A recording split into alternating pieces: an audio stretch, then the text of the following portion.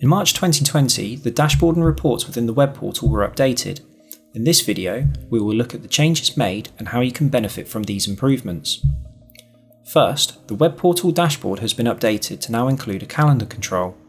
The data reported is still the same, however, you can now view all sales across your entire business for different date ranges. As before, the dashboard will show today's sales for all registered tills by default.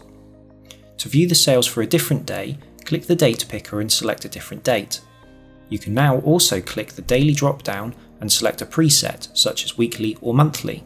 Again, the dashboard will update automatically. Reports are still accessed by clicking reports in the top bar, however the report category drop down has now been removed. Now select the desired report from the first drop down menu. You will see the reports are still in their original groups.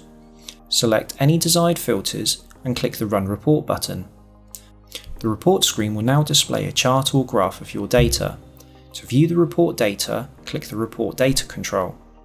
Both the report data and report chart can be exported by clicking the appropriate export buttons.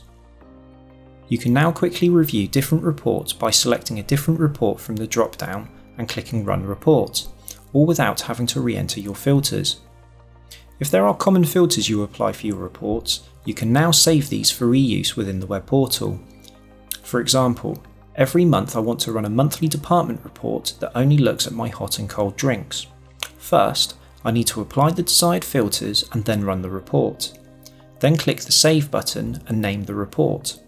To rerun this report, click the Report Selectors button. This will list all your saved reports. From here, click the View button to run the appropriate report. From the Report selector screen, you can also remove a report by clicking the trash can icon, or make a specific report the default one that is run when clicking Reports.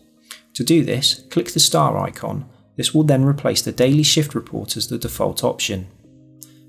Further information on reports can also be found in your user manual, and if you still have any questions, please contact your support provider, whose details can be found on the register menu or in the web portal.